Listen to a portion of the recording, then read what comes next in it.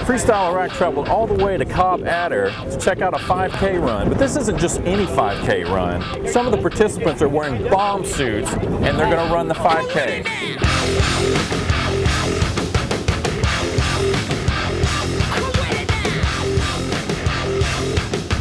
We've got wind, we've got rain, we've got sand, we've got all kinds of stuff.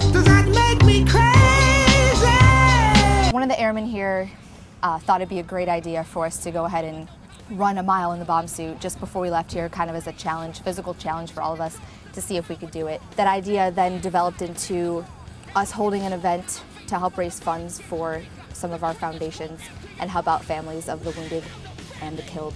After that, the, the idea kind of blew up on us and it became an AOR thing. We decided to just push the idea as much as we could. The event then turned from a one mile bomb suit run into a 5K for the entire base. They could come out and run in the event if they wanted to. We had personnel out there that decided to run their flak and helmet. We had our fire department here supporting us, running in their bunker gear. And we also had some of us EOD techs running as a relay, approximately a mile each, and a few of us also ran the entire 5K in the bomb suit. Running around family with a pocket full of shells.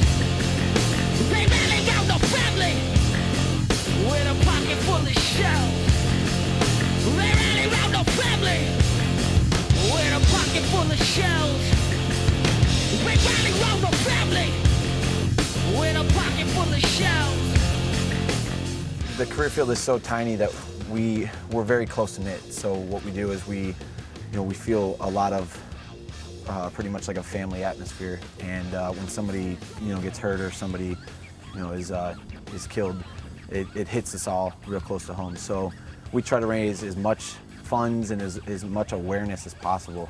Raised about a little over $3,000 just in cash alone. We also set up a PayPal account, which we got directly from the foundations, which was really nice. They worked right alongside us to get as much as much of it out as possible. They pushed it, and we pushed it both Army side and Air Force side. It was a joint venture. We had our commander here at the 407th. Uh, he decided to run and put together a team as well.